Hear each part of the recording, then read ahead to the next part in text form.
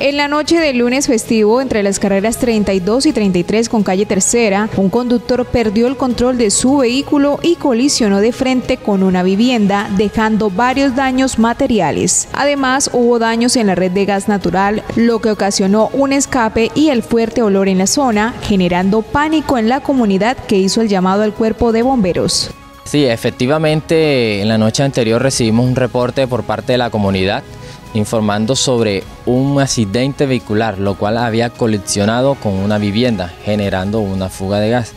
Inmediatamente se hace el despacho de la Móvil 5, donde al llegar a la emergencia se verifica que se presentaba una fuga de gas, lo cual lo había ocasionado el vehículo particular, donde colisionó con la vivienda, generando también daños en la estructura y en el gas domiciliario.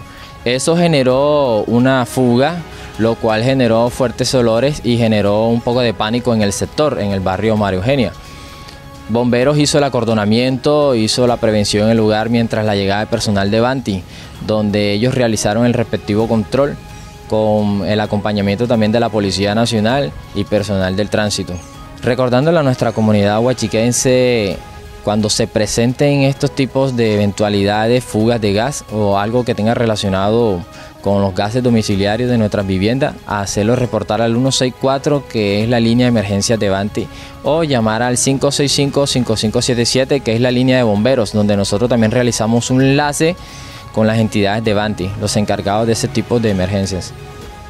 En mi TV Noticias llegamos hasta el sitio donde sucedió el incidente y la comunidad que presenció los hechos comenta que al parecer el joven que iba conduciendo el vehículo estaría en un estado de embriaguez y a bordo estarían también un menor de edad. Cabe resaltar que los dos salieron ilesos, sin embargo fue un alto riesgo el que corrieron en el momento del choque.